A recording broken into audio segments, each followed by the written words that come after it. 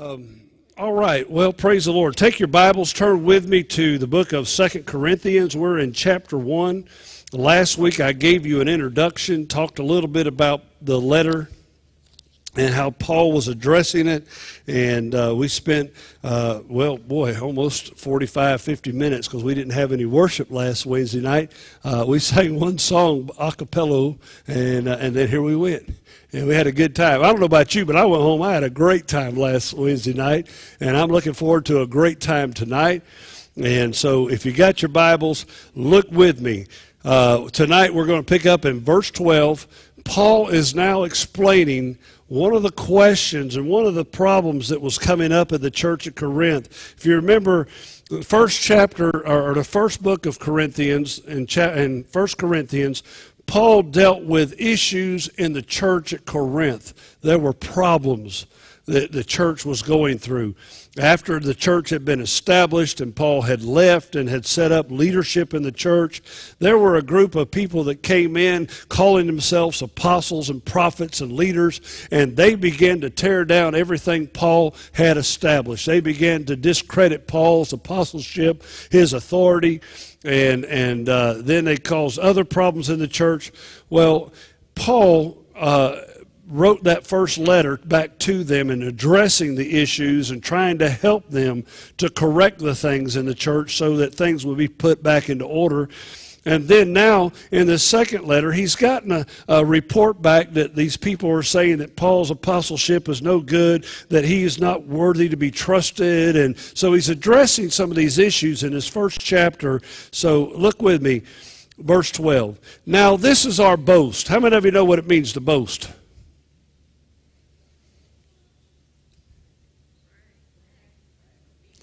There ain't none of you that do that, is there? Not about yourself, for sure. How many of you know what the Bible says in, in Proverbs? Pride cometh before the. Uh, when people start tooting their own horn, I start having problems hearing. you know, I like to see the fruit on the tree. How many of you know? I, I just soon you don't you don't have to tell me all you did. Now there are times I like to listen to people's story and how God's blessed them and used them, and but but I found out that it's nice to be able to see God's working in some, and, and, and then I come up and say, you know, I really appreciate Tina because Tina every Wednesday night she's faithful. She goes and picks up kids on that van and she takes them home. While you're going home and getting ready for bed, she's still running kids around town trying to get them in her place. That, that's my privilege to boast. It's your privilege to boast about her. She doesn't have to go around boasting, well, you know, I'm, I'm doing this and I'm doing that. When people start telling me I'm, I'm, I'm, so there's a problem. You know what? You do your job and God will reward you. God will honor you. People will begin to see it and they'll begin to recognize it. But Paul says this is my reason to boast. This is my this is my chance. He says now this is our boast. He says our conscience testifies that we've conducted ourselves in the world and especially in our relationships with you in holiness and sincerity that are from God. For we have done so not according to worldly wisdom, but according to God's grace. Paul, we talked a little bit about this in the first 11 verses last time, but Paul gave him uh, illustrations of, you know, when we came to you, we came because we were concerned about you as a person. You were lost in your sins, you were going to hell. But we spent everything that we had so that we could reach you. We gave of ourselves. And, and, and Paul's bragging a little bit about what he's done, but he knows that he's only done it through the help and the grace of God. He talks about how he was over in, in the area of, of uh, uh, oh boy, Derbe and Lystra, and, and how he was taken and stoned and left for dead and raised up again, and he didn't quit. I'm not talking about somebody saying bad names about you, okay? I'm talking about they actually took stones and threw them and pelted him, knocked him to the ground, and he got up and he kept on pressing on. You know, he was later put in the, in the Philippian jail there in Philippi, and, and he was praising God about midnight, and all of a sudden the chains fell off, and the earthquake shook, and the gates opened up. He said, We did this because we were willing to suffer, because we did it for you. We wanted to reach your soul, we wanted to touch your life. We want you to meet Jesus, we want you to have eternity in heaven. How many of you want eternity in heaven? Amen. I want to spend the rest of my, you know, not life here, but eternity with God. That's why we're doing this thing on Sunday nights. Those who've been here, you know what I'm talking about. We're doing a, a series called Driven, Driven by Eternity. we we do what we do. We act like we act. We behave like we behave because we know that there is something beyond this life. Life is not over when we die. That's only the first death. Those who are in Christ Jesus don't have to worry about a second death. All they have to worry about is what will I be doing when I get into eternity? And the way you live today will determine how you will live in eternity. The more you serve Him, the better your life is. The more you please Him, the more you do for His kingdom and reaching souls. You are storing up riches in heaven. Are you with me tonight? And Paul knew that, and he's talking about this. He said, This is my boast. You know how we behaved when we were with you. Do you remember when Paul went to Corinth the first time in Acts chapter 18 when he shared the gospel with them? Paul went in there and he did not charge them. He didn't take up offerings to take care of himself and his own needs. He said, I was a tent maker. I sat down with the others and I worked every day just like anybody else to earn my own income so that I could provide for myself and not be a burden on you so that I was not selling the gospel. You know, he was doing a work because he wanted to touch their lives. He says, We did it with sincerity and we lived. I didn't live a double standard life in front of you. That's what Paul's saying. I didn't live this way in church and this way outside the church. How many of you know there are people that do that? There are people that come to church and they act like they're somebody good. And then the rest of the week you hear them out there and they act like they're just part of the world. They're doing everything that they shouldn't be doing as a Christian. And Paul said that's not the way we lived. You see, Paul is appealing here to their firsthand knowledge. He said, You know what we were like when we were there, how we conducted ourselves when we were there when we first came to Corinth. You see, Paul had stayed with them for a year and a half, 18 months. He had been there. And, and you can see that in Acts chapter 18 and verse 11.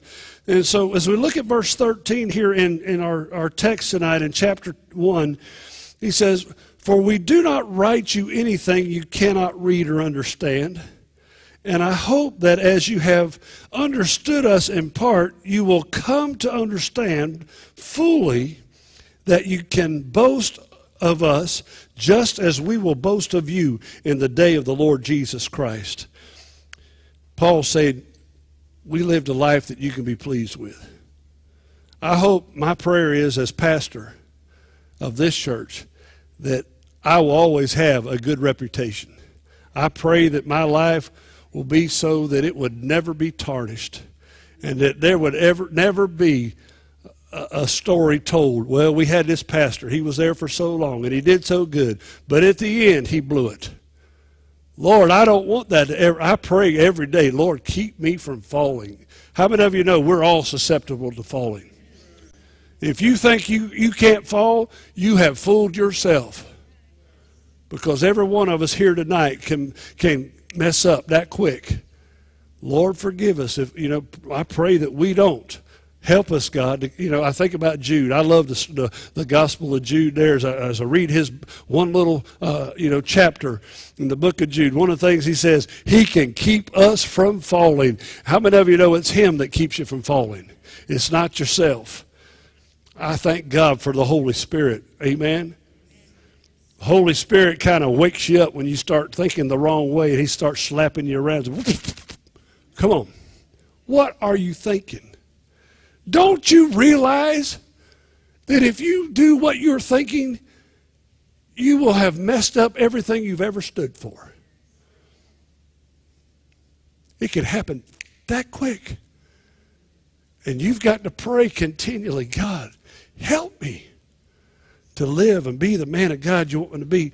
So Paul's saying in the last part of 14, he says, you can boast about us because we've lived before you. We've been there. And he says, just as we're going to boast about you, because there were some good people in the church at Corinth.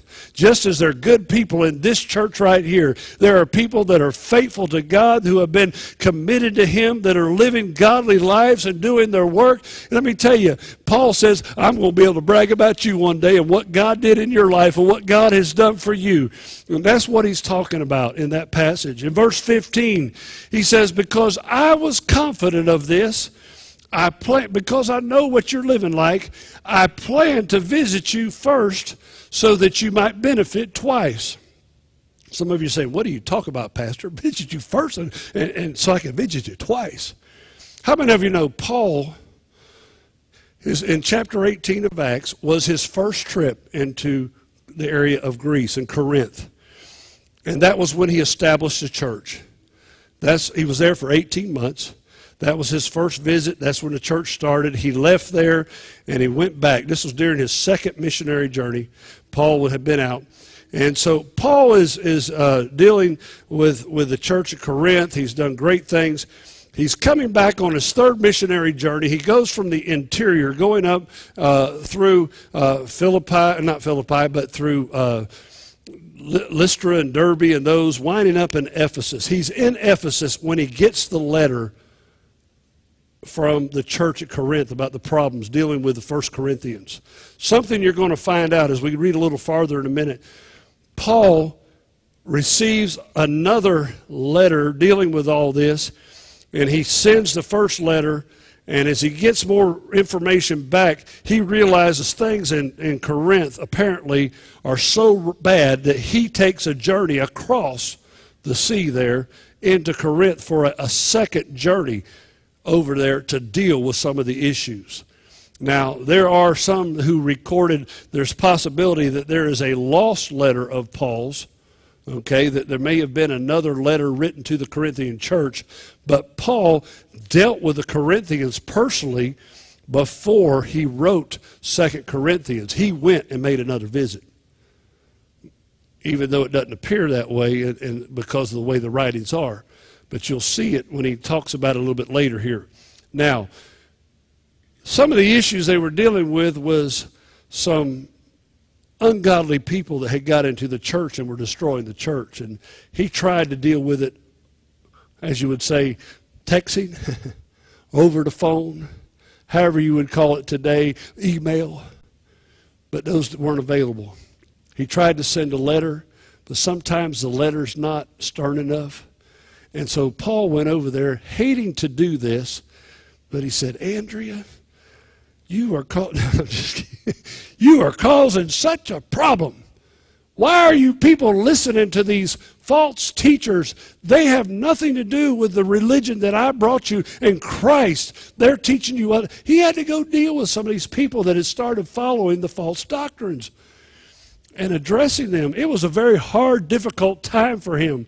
You know, pastors have a hard time sometimes trying to minister to their people because when we see people going astray, we see them making poor choices in their life. We try to make suggestions, we try to encourage them, but if we're not careful, we're the bad guy. And they think that what we got to say don't mean anything. And so they get agitated with us. They'll leave the church. They'll, they'll quit going to church. They'll get upset. And Paul had to go and address some folks until finally it became very troublesome for him. You'll see this as we go through this text. So Paul's talking in this verse, Here's, we talk about verse 15, he had planned to go back to Corinth, in Corinth first, and he was going to travel. He's going to take a little visit, stay a few days or a week, whatever, and then travel up into Macedonia, do what ministry he needed to do there, come back down one more time and visit the Corinthian church the second time when he said twice on that same visit. And from there, he would travel back to Jerusalem. Remember, Paul was on a journey for, for a couple of reasons. One, he was preaching the gospel, winning souls. He was doing great work. In Ephesus, revival had broke out. But along the way, Paul had asked the different churches that he established, please start taking up a collection so that we can take care of the people that are in Jerusalem that are having a difficult time because of the famine that's there. Paul did not want the money for himself. However, some of these false teachers had come in and false apostles had said, Oh, he just wants the money for himself. He just wants to take that money and put it in his own pocket so he could spend it.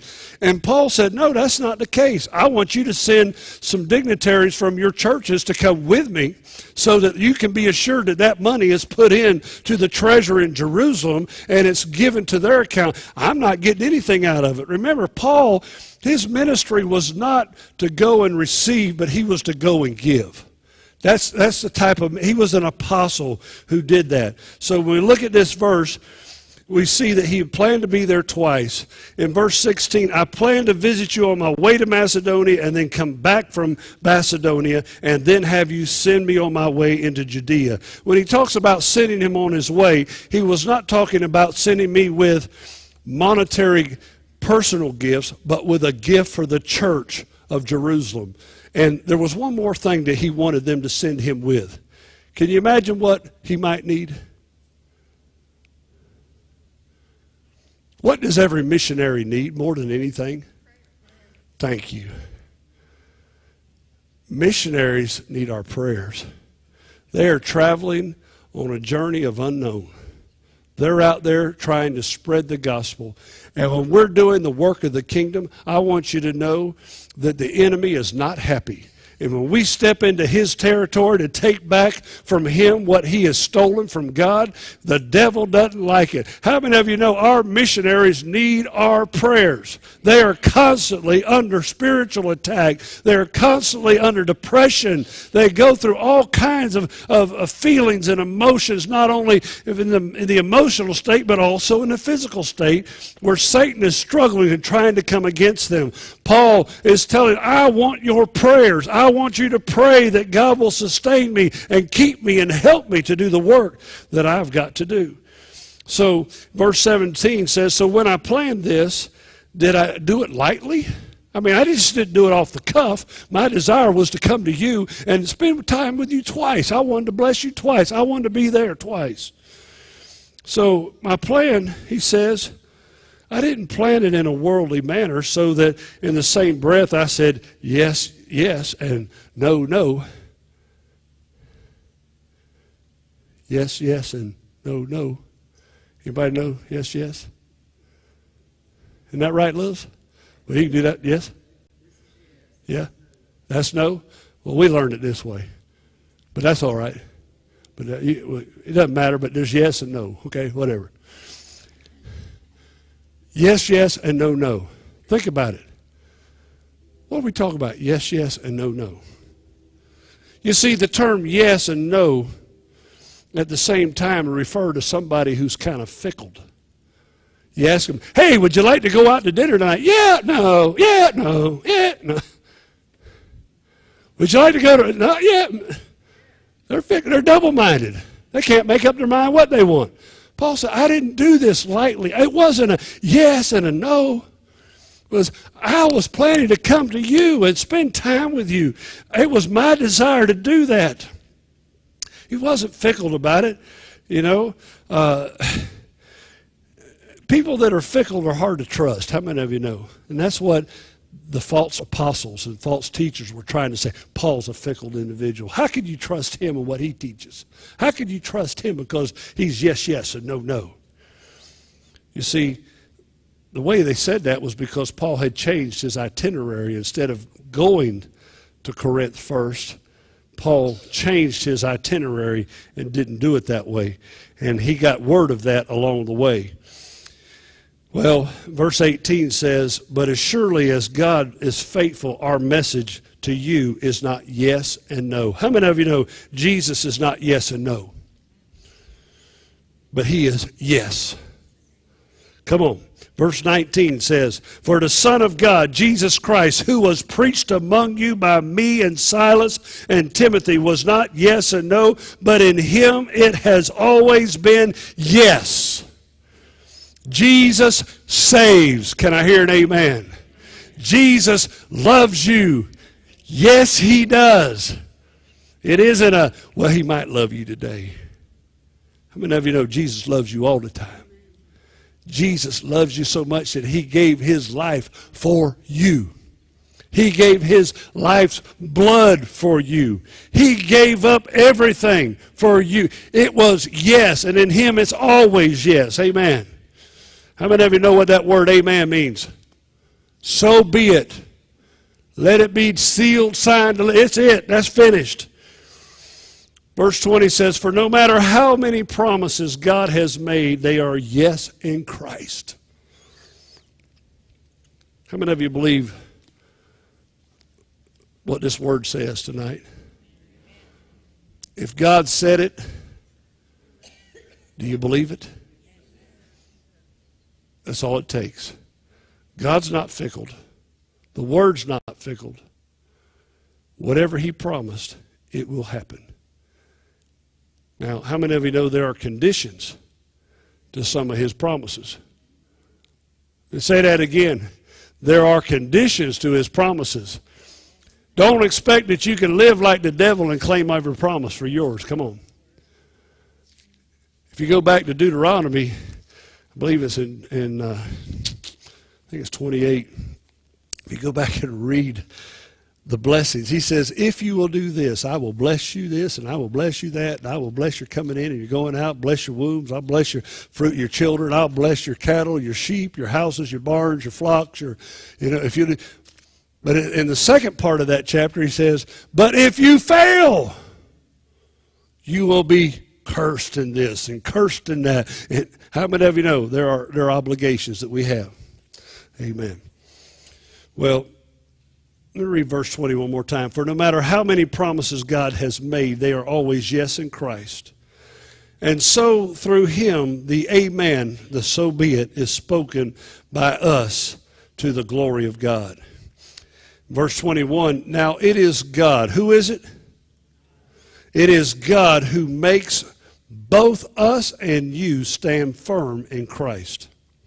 For he anoints us sets his seal of ownership on us, and puts his spirit in our hearts as a deposit, guaranteeing what is to come. I want to take just a few minutes over this next couple minutes here. There are four things I want to share with you. Paul outlines here in verses 21 and 22. Number one, after people are into, brought into a right relationship with Christ by renewing them spiritually, the Holy Spirit comes in and helps them to gain a firm spiritual foundation, which allows them to grow in their faith. You know, if all we do is we say a little prayer on Sunday morning at the altar Father, forgive me my sins. Cleanse me from all my unrighteousness. You know, I confess you as Lord. If that's, the, if that's all you prayed as a sinner's prayer, and you've done nothing else, you know, you've done the introduction, but you've never developed the relationship that God desires with you. And what happens is, as you begin to grow in Christ, He begins to establish you in a right relationship which renews you spiritually. We've got to renew our minds. I feel a message coming on real quick about renewing our minds. How many of you know it's important to renew our minds? And we do that through the Word. The Holy Spirit then helps us to gain a firm spiritual foundation. You know, when Paul, when Paul had his transformation on the road to Damascus, when he got into Damascus and his scales fell off his eyes in Acts chapter 9, all of a sudden he was transformed from who he was to whom God wanted him to be. But Paul didn't go right out immediately and start preaching. But Paul spent time in preparation, and the Holy Spirit taught him and developed him and raised him up into the man of God that he needed to be. He had to have a firm foundation. One of the things, if you were here Sunday night, if you listened to the video as John Bevere was talking about how people want to, to do this and that for God, but if they don't ever get rooted and grounded into a, a local church and stay planted every time a storm comes along, every time somebody gets upset and you uproot and move to another church, you'll never have deep roots. You'll never be able to stand. You know, somebody come to me, it might have been Danny, I don't know who said, he said, Pastor, I might not have much on the top, but my roots go deep. you know, because when storms come, the roots is what holds you into the ground so that you can stand firm. And it's because we are able to be strong in Christ. The Holy Spirit helps us, He guides us, He leads us. So, first thing Paul tries to tell us here now, God, who makes us both uh, both of us stand firm in Christ. He anoints us here. He brings us to this place and makes us strong with a foundation. We need that. The second thing we see is the Holy Spirit anoints us. He sets us apart. He commissions us. He empowers us. Uh, believe, he empowers the believers and gives them power to communicate Christ's message. How many of you know Acts chapter 1, verse 8 says, But you shall receive power when the Holy Spirit comes upon you to go fishing? Well, yeah.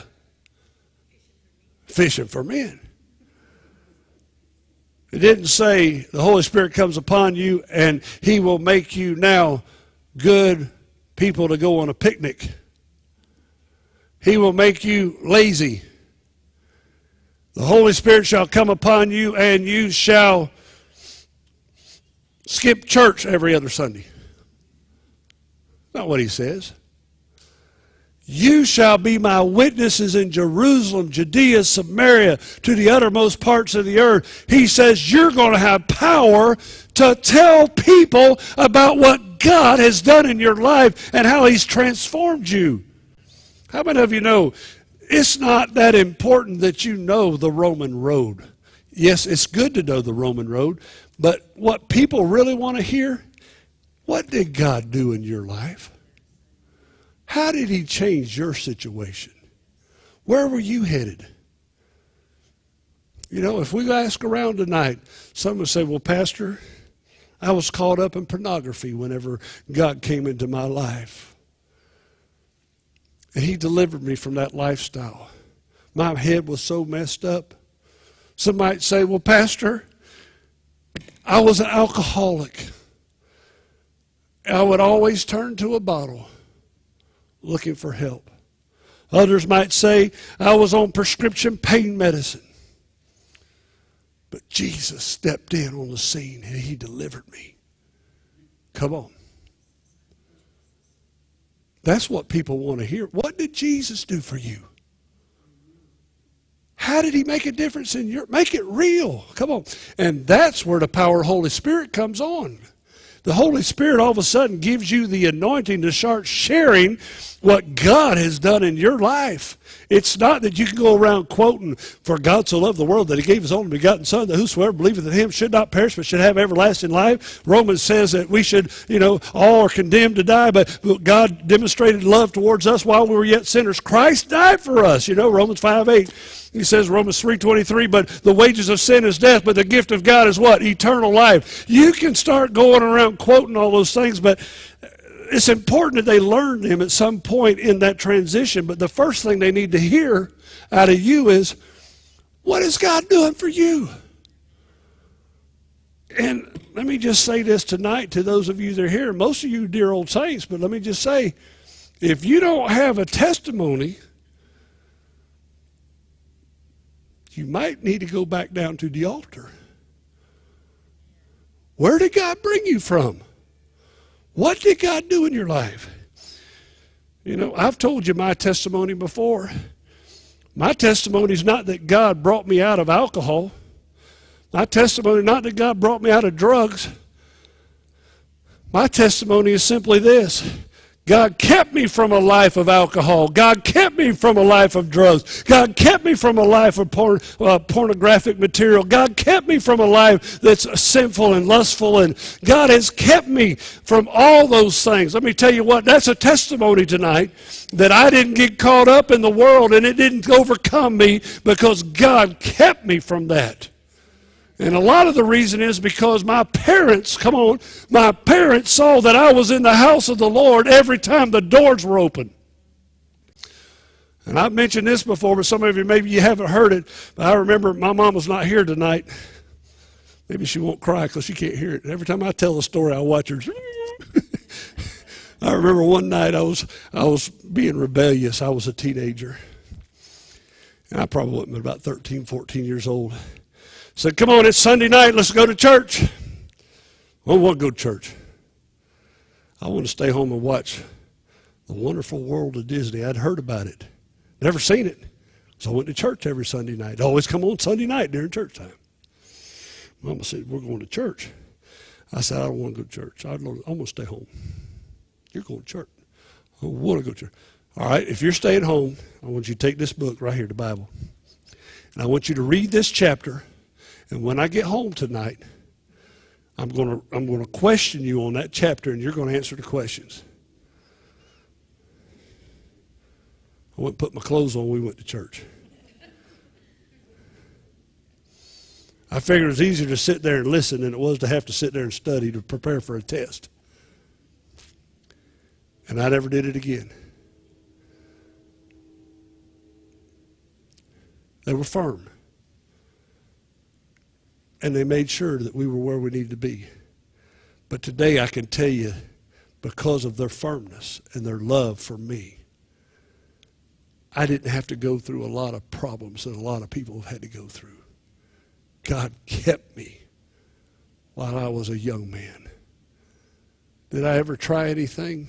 Not much, but I did. But not much, not enough that it ever enticed me. I was afraid that Jesus was going to come back and I was going to get left behind. I wouldn't dare mess up. I, I just, I, have had my heart on, on heaven forever. I, ever since I can remember, I don't want to miss the kingdom of God. I don't want to miss eternity. I'm not going to fool around. You know, some people, they like to take that gun and they call it Russian roulette, and they'll spin that revolver around and they'll pull the trigger. Not me, bud. I don't have that good of luck.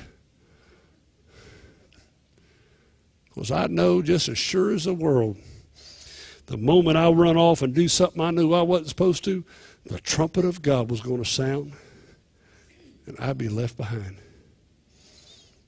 Folks, that's what kept me living for God. You say, well, that's fear. No, it's respect. It's a holy fear in the sense of I respect him enough to know that he may come at any moment. And I don't want to miss the first boatload. Some of you may believe in post trib. That's fine. You stay right there. You just you stay here as long as you want to. Some of you believe in mid trib. If you don't know what I'm talking about, talk about the book of Revelation. Some people believe you're going to be here all the way through the tribulation. Some people believe halfway through the tribulation. That's mid trib. And some of us are pre tribbers. We getting out of here before the tribulation. Are you with me? Man, when that trumpet sounds, I'm gone. If I ain't, I, at least I didn't miss anything. Come on. I, I, I, I am ready to go. I'm, I'm, I'm Maybe I should say it better. My dad would say when he was having his last few days when he was around, I'd always say, Daddy, you ready? He said, No, I'm just, I'm prepared. How many of you know there's a difference of being ready and prepared? He wanted to stay here. He wanted to continue to enjoy life. But if the Lord called him, he was ready. And that's the way we need to be all the time is ready. Should the trumpet sound, is your heart ready today? Are you ready? Lord, I went to preaching. I'm messing up here. Number third point. The Holy Spirit not only anoints, but the Holy Spirit is the official seal of God's ownership. You ever, you ever uh, seen, I don't see this too often anymore, but used to, uh, meat that you would buy in, in the meat store. you know, in the butcher or Winn-Dixie or whatever, you would see that purple ink on the meat that would say USDA approved. How many of you remember that? Anybody seen that lately? They must not approve it anymore. I don't know. I hadn't seen it forever. But that was a seal. That was a stamp. said this has been inspected and it's approved. I want you to know that God puts His seal on us. He stamps us. He puts His anointing on us. Can you say amen? So when He does that, He puts His official seal of ownership, marking the believers as His very own property. And it produces godly character within their lives. Church, when the Holy Spirit's in your life, you've got to live a godly life. Come on, are you hearing me tonight? You don't have time to fool around with the world. You don't have time to mess around with alcohol. And people say, well, isn't it all right for, for Christians to drink? Why do you even want to ask that question? Why do you even want to think about doing what the world does? Is it sinful? I don't know. Well, Jesus did it. Yeah, but that's what they had to drink back then. But I know too many people that can't control themselves and it's better to abstain than to get involved and fall off the wagon. Hello. Are you hearing me? Why do you want to look like the world? Why do you want to behave like the world? Why do you. The world's not our home. He said, I've called you to be a peculiar people. Come on. A holy nation. People are going to look at you and say, Why do you do that? Because I love Jesus. Why do you act like that? Why won't you do what we do? Because I love God, and that, that offends Him. It may cause a weaker brother to fall or stumble. I don't want to do that. Lord forbid, I don't want to have some kind of a millstone tied on my ankle and throw it into the water and drown for causing a young brother to stumble and fall. Mm. I'm sorry, I'm just getting excited and preaching tonight. I'm having a good time again. The fourth thing, the Holy Spirit not only is God's seal, but the Holy Spirit is a good deposit. It's a deposit. It's the first installment and the guarantee of the believer's eternal life. When the Holy Spirit comes, man, that's you got it made. When you got the Holy Spirit and you're living with Him, as long as you keep Him in there and deposits there, how many of you know when you got money in the bank, you're okay? If you clear out your banking account, and you go back and say, hey, I'd like to take a little more money out, they say, I'm sorry, but you've overdrawn. There's a lot of people in the, in the Christian world that have overdrawn on the Holy Spirit here. A lot of people in the, in the, in the church today that have overdrawn.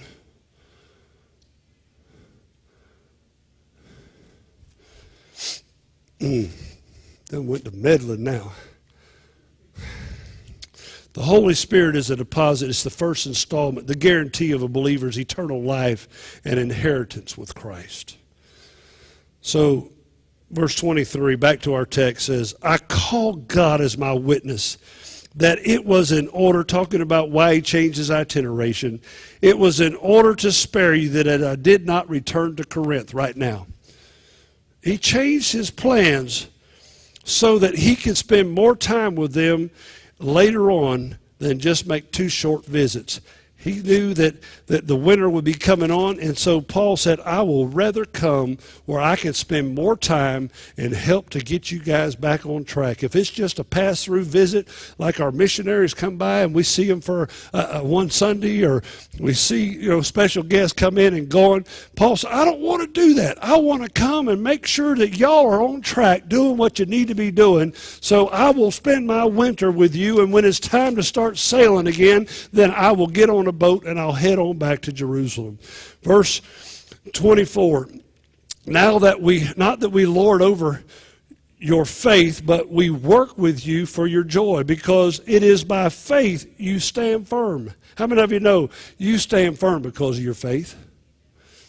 If it wasn't for your faith, every time a storm comes along in your life, you'd be blown away. Every time some upheaval comes in your life, if you didn't have a rock to hold on to, how many of you know who that rock is? Jesus is the rock. He's the foundation. And we hold on to Him when we're going through trials and tribulations. We hold on to Him knowing that He will keep us and we will be steadfast. We have a firm foundation. Let me just read these last couple verses to you. You say, well, that's all there was. No, you need to hear the last first four of chapter 2. So I made up my mind, verse 1 that I would not make another painful visit to you. Paul had been there to deal with correction. He said, I'm not ready to do that. You guys just keep on working. When I get there, I'm not going to have to deal with this because you're already, Holy Spirit's already going to deal with you. I believe that's what he was saying. See, Paul had already made it a quick visit with them to deal with some of the problems between his writing of 1st and 2nd Corinthians. And, and there was a lot of people that were really struggling. And, and you know, you say, well, how do you know he went there? Well, if you look at chapter 12 in 2 Corinthians in verse 14, he says this I'm ready to visit you for a third time.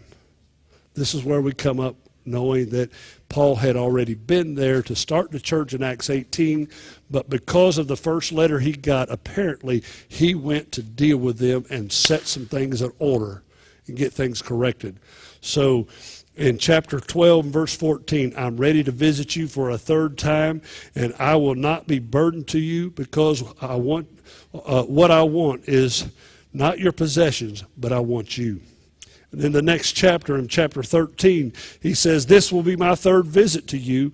Every matter must be established by the testimony of three verses, or three persons, three witnesses, rather, two or three witnesses. And I already gave you a warning when I was with you on that second visit. So we see that he had already made that. And here's the last three uh, verses you need to hear tonight. For if I grieve you,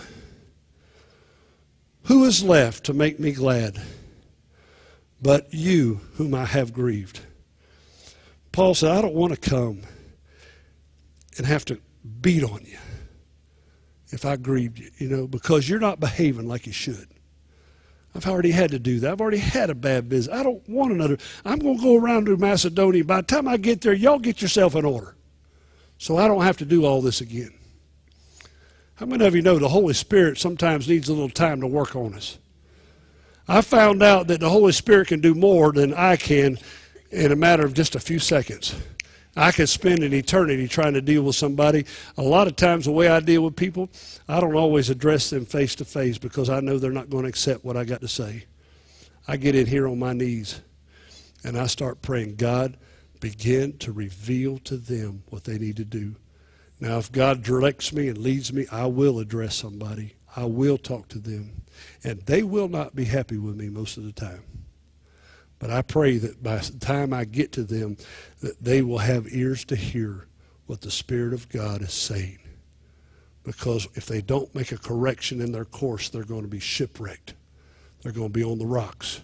They're going to find themselves. You see, it's a struggle for pastors. Paul was struggling with this.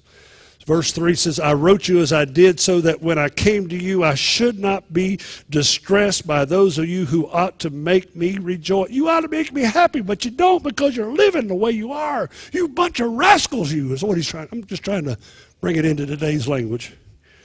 He says, I had confidence in all of you that you would all share in my joy. For I wrote you out of great distress and anguish of heart and with many tears not to grieve you, but to let you know the depth of my love for you. And that's the pastor's love. I love you. Will you just please listen? Change the way you're living. Make a correction before it's too late. Because Jesus is coming soon. Let me say it again. Jesus is coming soon. Stand with me. Stand all over the church. Holy Spirit, I pray tonight that what you have spoken to our hearts will become alive and will come real to us. God, I pray that if there's anybody here tonight that's not sure about where they are with you and their salvation, that God, they would call upon you tonight and ask for forgiveness of sin. And that, Lord, you would assure them of their salvation. God, if they're walking without the help of the Holy Spirit, God, I pray that they would receive your precious Holy Spirit in their life tonight. and you would empower them to be the man and woman of God that you've called them to be. With your heads bowed for just another moment. If you're here and you'd say, Pastor, I'm not sure about my salvation and I want to make sure that I'm living right with God before I leave here tonight, just slip your hand up and say, Pray for me. Pray for me. I'll wait just one more minute. Pray for me. Thank you, Lord, for each one that's here. God, I pray your blessings. Help us, keep us from falling, Lord, and go with us as we go our ways tonight. In Jesus' mighty name, amen. Amen. God bless you. Come expecting Sunday morning. Come. Come expecting.